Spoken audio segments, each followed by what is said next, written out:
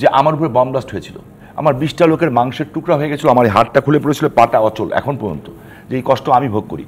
আমি বিএনপি কি কি গণতান্ত্রিক দল বলব কিনা সেটা আগে আমার চিন্তার বিষয় আছে। আসলে এখানে যিনি বসে আছেন, আজম ভাই তো আছেনই, আর কাজী ফিরোজ রশিদ সাহেবের পাশে বসে, উনি একটা জ্বলন্ত ইতিহাস আমি মনে করি এবং আমার অত্যন্ত শ্রদ্ধার পাত্র। উনি যখন কথা বলেন, পার্লামেন্টেও বলেন, আমি সেটা খুব খেয়াল করে শুনি, কারণ বই পুস্তক পড়ে যা জানা জানা, ওনার কথাতে তা আমি অনেক কিছু জানতে পারি। এই জন্য ওনার পাশে বসে কথা বলাটাও খুব একটা মুশকিল। তারপরে আজম ভাই কিছু কথা বলেছেন সেই কথাগুলির উত্তর আমি দিতে চাই। আমি বিএনপি কি কি গণতান্ত্রিক দল বলব কিনা সেটা আগে আমার চিন্তার বিষয় আছে। হ্যাঁ গণতন্ত্রের জন্য যারা লড়াই করছেন, তা আমি তো দেখেছি গণতন্ত্রের জন্য যারা লড়াই করেন, আমি বিএনপিকে বলব একটা ক্ষমতা লিপসু দল।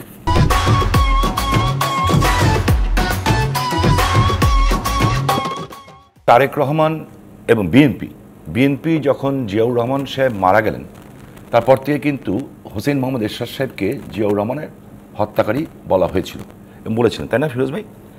কন্টিনিউয়াসলি বলেছিলেন যে এরশাদ জিয়াউর রহমানের হত্যাকারী হত্যাকারী এবং এরশাদ জিয়াউর রহমান, আমরা বলি কিন্তু। বাট আমি দেখলাম যে ক্ষমতায় যাওয়ার জন্য হ্যাঁ জাতির পিতার কন্যা শেখ হাসিনা, তার পিতার নাম জাতির পিতা বঙ্গবন্ধু শেখ মুজিবুর রহমান। আমার পিতার নাম এ কে এম শামসুজ্জোহা। ঠিক আছে? আমার ফিলিংস আর ওনার ফিলিংসের মধ্যে কিন্তু অবভিয়াসলি যত খুশি আমি বলি আদর্শের জন্য, জীবনে বোমা খেয়েছে, আমার বাবা গুলি খেয়েছেন দ্যাটস আনাদার কোশ্চেন কিন্তু ওনার চেয়ে আমার ফিলিংসটা বেশি হবে না। ঠিক একইভাবে তারেক জিয়ার যে ফিলিংস তার বাবার প্রতি, সেই ফিলিংস তো আমার হবে না।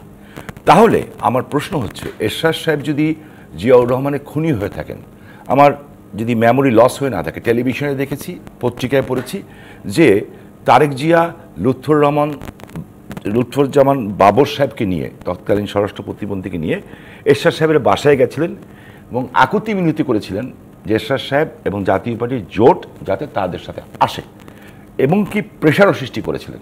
তাহলে আমার প্রশ্নটা হচ্ছে এখানে খুব পরিষ্কার। যেই ব্যক্তি লন্ডনে বসে লন্ডনে বসে এখানে বহিষ্কার বহিষ্কারাদেশও দিচ্ছেন এবং আন্দোলনের কর্মসূচি দিচ্ছেন কর্মসূচিগুলি কি ছিল এটাও আমি বলব পরে যদি আপনি আমাকে সময় দেন।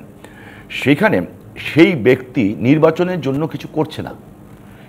আমি যতটুকু জানি he is not ready for the election of two thousand twenty four উনি টু থাউজেন্ড টোয়েন্টি নাইন নিয়ে চিন্তা করছেন। He is not thinking about his mother also তো সেইখানে আমার যা ধারণা, যিনি ক্ষমতায় যাওয়ার জন্য তার বাবার হত্যাকারী, তার, তাদের মুখ হতে, যেতে পারেন, তাকে জনগণ বিশ্বাস করবে, এই কথা অন্তপক্ষে আমি বিশ্বাস করার মতো বোকা লোক না।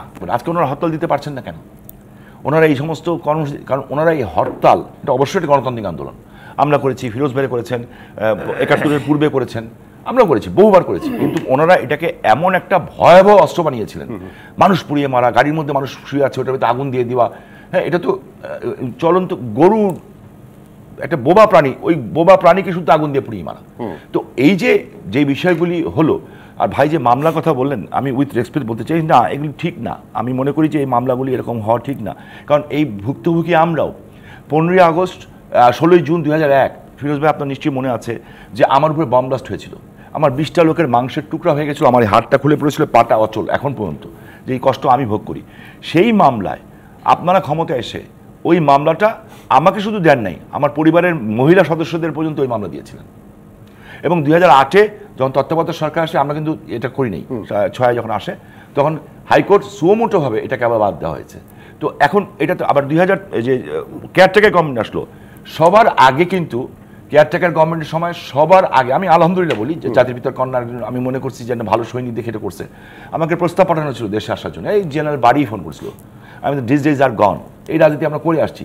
হ্যাঁ, এটা তিন পুরুষ ধরে করি আমরা জানি এগুলিতে কীভাবে জবাব দিতে হয়। তো আমি নাম ধরেই বলছো না যে আমি বলছি আপনি পালানোর চিন্তা করেন কোথায় যেতে হবে আপনাকে? সেখানে এই কথা বলার পরিপ্রেক্ষিতে আমাকে কিন্তু প্রথম তেরো বছর সাজা দেওয়া হয়েছিল। হুম এবং সেই সাজা ছিল কি? আমি দুই এক থেকে দুই ছয় পর্যন্ত সাত লক্ষ টাকা ইনকাম ট্যাক্স দিইনি। আর দুই এক থেকে দুই ছয় পর্যন্ত আমি দেশেই ছিলাম না। আমি তিন বছর ছিলাম তার মানে তার মানে রাজনৈতিক বিবেচনায় কিছু মামলার যে রায় হয় না তা কিন্তু না। এটা আপনার মাধ্যমে কিন্তু মানে পারে। প্রমাণিত। আমি but আমি আমি মনে করি যে এই যে কোর্টকে একটা লয় লার্নের লয়ার হয়ে কোর্টকে সরাসরি প্রশ্নবিদ্ধ করে দেওয়া হাইকোর্টকে প্রশ্নবিদ্ধ করে দেওয়া। এটা যে- দায়িত্বশীল নেতাদের প্রতি আমার মনে হয় এটা সঠিক না।